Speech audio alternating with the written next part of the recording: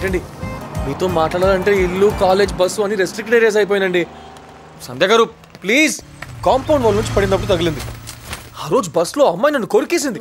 హాస్పిటల్కి వెళ్ళి బొడ్డు చుట్టూ నాలుగు ఇంజక్షన్లు వేయించుకోవాల్సి వచ్చింది. తెలుసా మీకు? చూడండి అపరిచితులతో మాట్లాడడం నాకు ఇష్టం ఉండదు. మీరు ఇలా వెంట పడకపోతే బెటర్ కాదు సంధ్య గారు సని నన్ను పీడిస్తున్నాడు నన్ను శనిలా పీడిస్తున్నారు.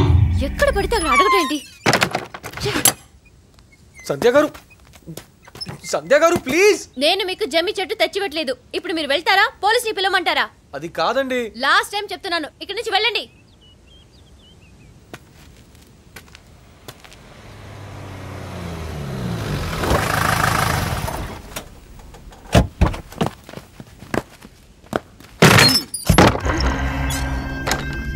ఇల్లు ఖాళీ చేయకుండా ఎక్కడేం చేస్తున్నావే? ఎవరు మీరు?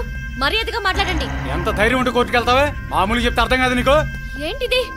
మూర్తి గారు! మూర్తి గారు! పిలవే పిలు. ఎవరొస్తాడు చూద్దాం. రమణ. కేసు కోర్టులో ఉంది. కాసేపట్లో నువ్వు వీధిలో ఉంటావు. మీరు మర్యాదగా బయటకు వెళ్ళండి అదే నీకు చెప్తున్నా. అర్థమైందా? ఏంటలా దిక్కులు చూస్తున్నావు?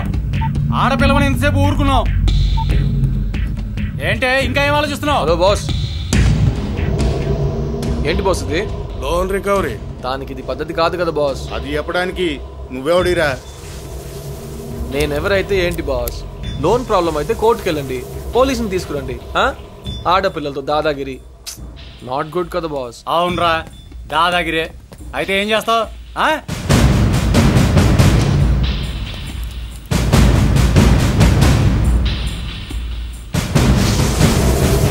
ఏంటి? కొట్టడానికి పర్మిషనా సంధ్య గారు లోపలికి వెళ్ళి అందరు టీ పెట్టండి. అంటే టీ వచ్చేలోపు మనం అవుటా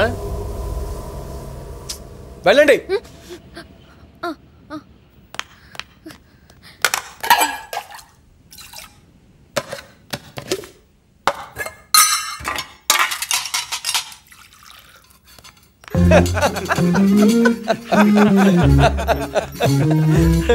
దీంట్లో ఒక మూడు సిక్స్ ప్యాక్లు ఉంటాయి కదా. అరే టీ వచ్చింది తాగెళ్ళండి. బయట తాగుతాం బాస్. ఏంటి బాస్ మీరు? మేడం. ఉంటాం boss.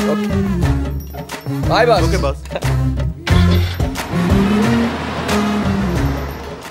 వాళ్ళతో మాట్లాడేశాను. ఇక మీ జోలికి రారు.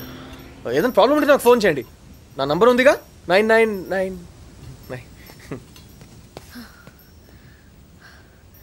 おい、うん。